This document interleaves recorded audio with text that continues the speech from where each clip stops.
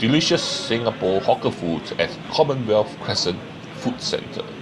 Welcome to another food adventure with Getting Lost.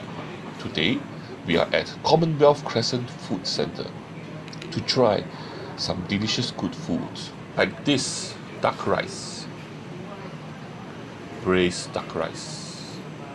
And since we are here, why don't we have some porridge? Some pork porridge. And lastly, how about some curry puff? Some unusual flavored curry puff. So join me at this food center, Commonwealth Crescent Food Center, as I explore the food here. You want to find out more? Join me after the intro.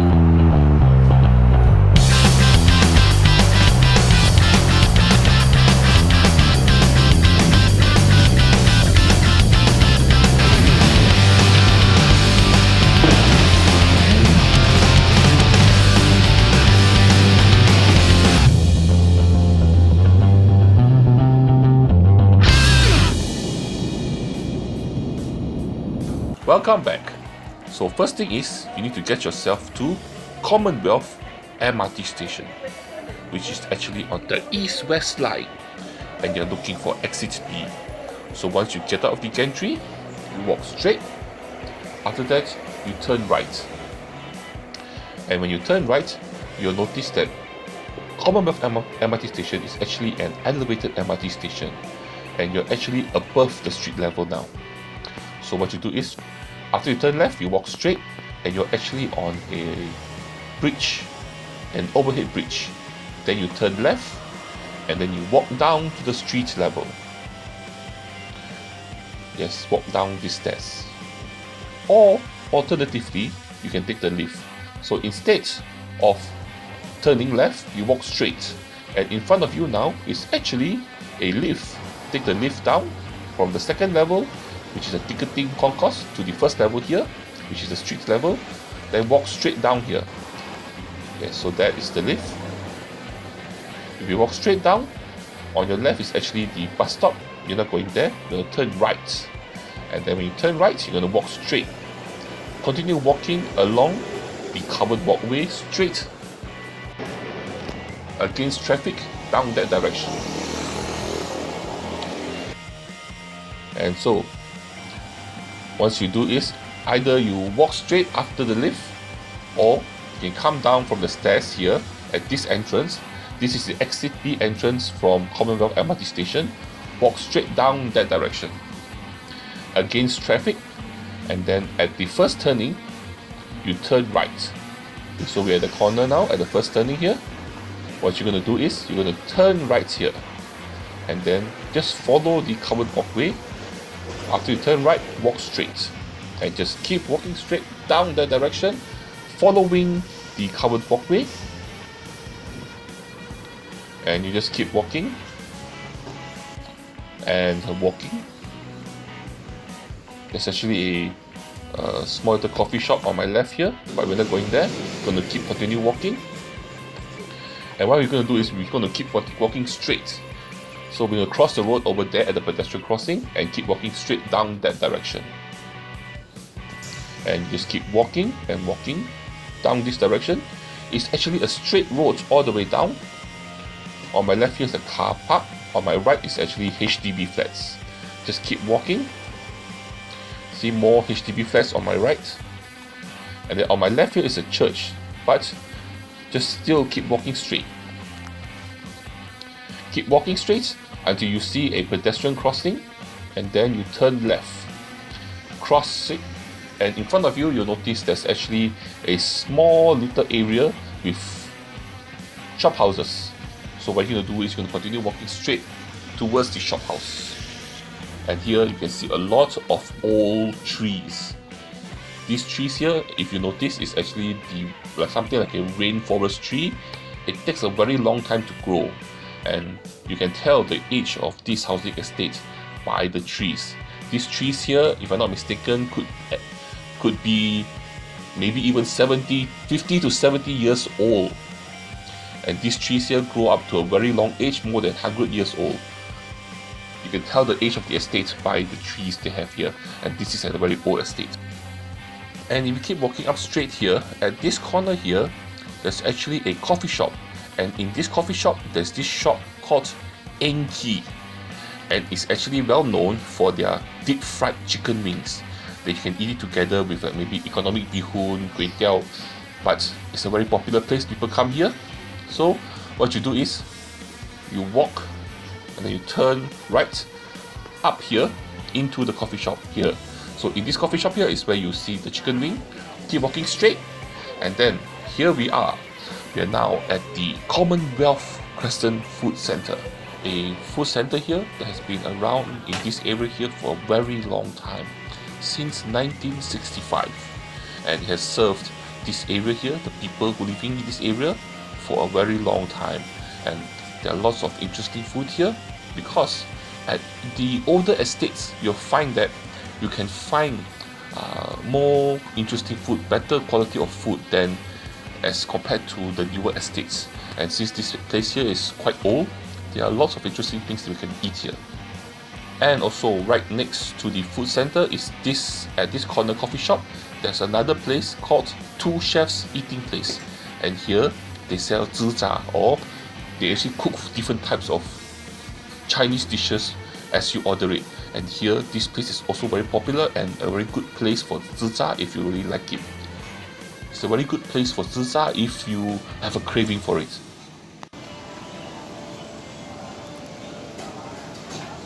The first place we're having here, the first item we're eating is at, from this store called Chinatown Apo Braised Duck. And here they sell braised duck is a very old school flavor dish that you get from this store here. And here, this set I ordered cost me $5.50. It consists of braised duck together with dessert and also liver and with rice. And what you get here is first of all their braised duck. You notice here something very different is, is the sauce that comes together with the braised duck. It's very dark. It's full of soy flavor and it's lighter or what more watery than you get from other shops. But here, when you taste the flavor of this sauce here, you get a very strong soy flavor that is very flavorful and helps to neutralize the duckiness of the duck. And like I said here, it's a very old school flavor and then it comes together with a very nice spicy and sour chili sauce. The tanginess from this chili sauce helps a lot with the meat here goes very well together, complements the dark soy sauce very well. And here, I like the meaty and tender parts of the duck. And then you have the gizzards, which is softer than I expected, and also the liver here also very good. Everything here goes very well, just that it's a very old school flavor. Some people may not enjoy this flavor.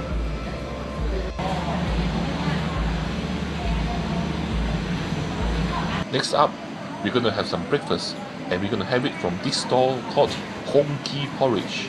This stall here is a favorite of this location here and it has been around for a very long time. And lots of people have been eating his porridge.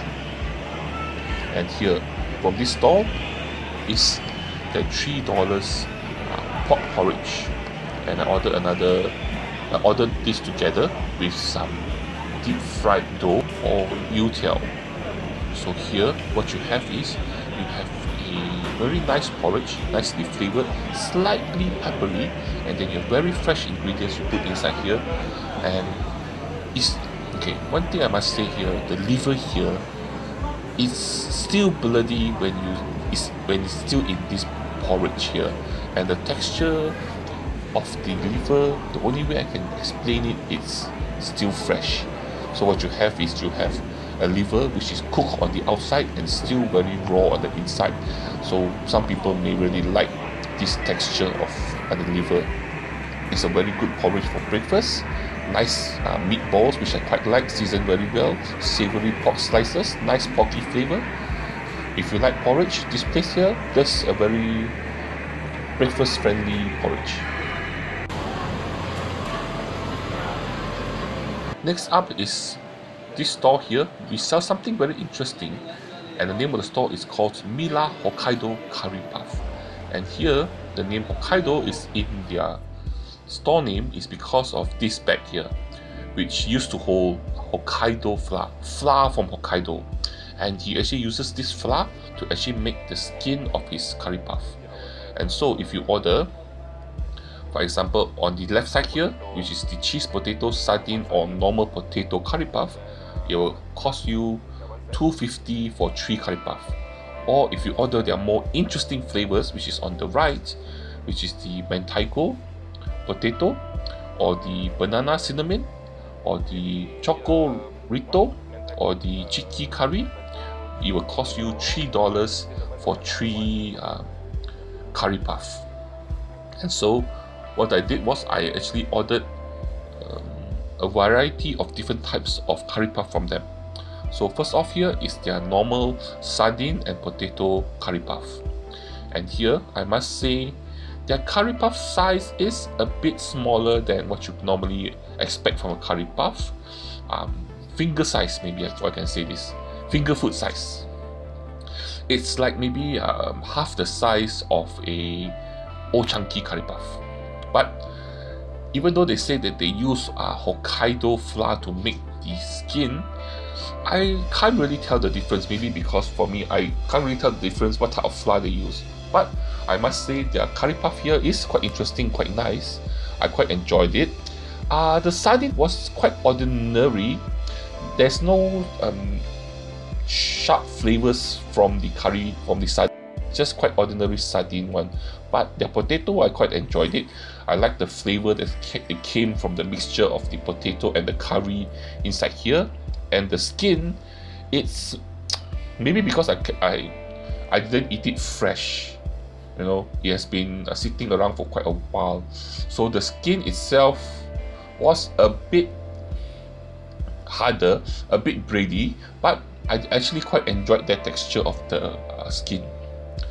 And then up next I ordered uh, more different types of special flavors for curry puff so at the bottom here was actually the mentaiko cheese. And then at the middle there is the chocolate or choco ret retro and the last one is their banana cinnamon or cinnamon banana. So you can tell the difference by the dots you see there. And like I said, interesting flavors. So I did cut it up to give it a try and to see what it's like. And so the first one at the bottom here is their mentaiko cheese honestly what I felt lah for this one years I felt it was quite ordinary the mentaiko didn't really give much flavor to the curry puff. Um, I think it's because I suspect it's because the mentaiko has been cooked, so you don't have the nice bouncy uh, bites that you normally get when you bite into the eggs of the mentaiko. So I didn't really enjoy the mentaiko. The mentaiko was quite ordinary. Then the middle one, which is the chocolate one, the chocolate one, I quite enjoyed it. It's maybe it's because of the texture of the bready texture of the of the skin goes very well with the chocolate. And then the, lastly, you have the cinnamon banana. This one, surprisingly, I quite enjoyed. Even though I don't like cinnamon at all, but I enjoyed the cinnamon banana. It refreshed my palate. I don't have to say it. It make it somehow the combination of banana and the cinnamon inside this curry puff was quite delightful and quite nice. I quite, like I said, I liked it. So here, I must say, I really, really love the interesting new flavors uh, this store is introducing to curry puff. And you must come down and support him so that he will introduce more interesting flavors. And if you want to eat his um, curry puff, I recommend the chocolate one, the cinnamon banana, and also the ordinary potato. These are my three favorites that I tried. And so, this brings us to the end here of our adventure at this food center, which is the Commonwealth Crescent Food Center. And here is a very old food center with lots and lots of good food. And because the older the food center, you can find somehow the food here will be better. Anyway, thank you very much for joining me um, for this food adventure here at Commonwealth, one of the older estates in Singapore. And since you know how to get here, come down and try the food. And lastly, before we go, please do me a favor please help me by liking my video, sharing my video, and also subscribing to my channel. And lastly, but the most important thing, besides coming down here to try the food, is to join me for my next food adventure. I will see you there. Bye bye.